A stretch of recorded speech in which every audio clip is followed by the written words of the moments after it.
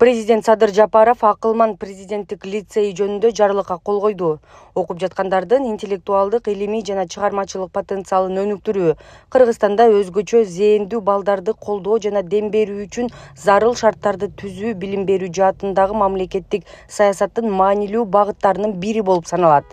Бүткүл өлкө боюнча өзгөчө шыктуу балдарды окутуунун жана тарбиялоонун бирдиктүү системасын түзүү таланттуу жаштарды андан ары колдоо жана сыйлоо кыргызстанда интеллектуалдык жактан өнүккөн муунду калыптандыруу максатында ысык көл облусунун чолпон ата шаарында мамлекеттик адистештирилген жалпы билим берүү уюму формасында акылман президенттик лицейи мекемеси түзүү жөнүндө жарлыкка кол койду